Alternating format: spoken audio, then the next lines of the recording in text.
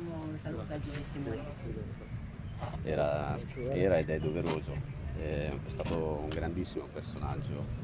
del, del nostro calcio. E ho avuto solo la possibilità di trovarlo da, da avversario sulle varie panchine, e, però anche per quel poco che ho avuto la possibilità di conoscerlo attraverso il suo modo di fare, le sue interviste, ho sempre dimostrato di essere una, una grandissima persona e, e, poi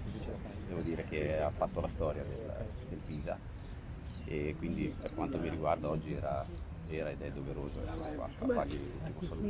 Che immagine hai di Gigi Simoni sulla panchina?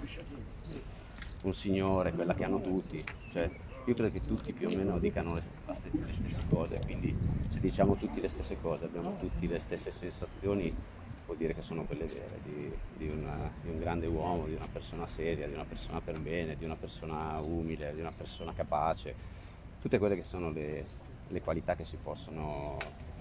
trasmettere in un mondo come quello del calcio dove non sempre è facile, non sempre è semplice anche riuscire a, mantenere l'equilibrio e la serenità. Lui è uno che invece da questo punto di vista ce l'ha assolutamente insegnato.